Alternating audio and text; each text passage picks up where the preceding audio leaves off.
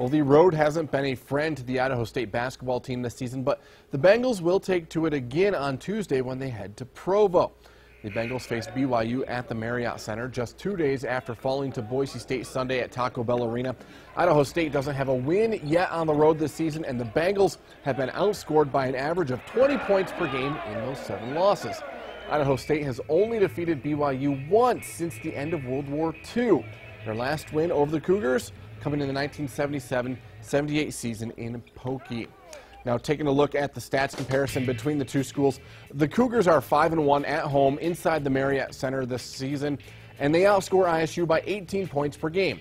Their defenses give up similar numbers, and their offenses shoot similar percentages from the floor as well. But look at the disparity in the rebounds. Bengals head coach Bill Evans has said his team needs to rebound better. The Cougars average 17 more boards per game than ISU. Tip off is set for 7 o'clock. And so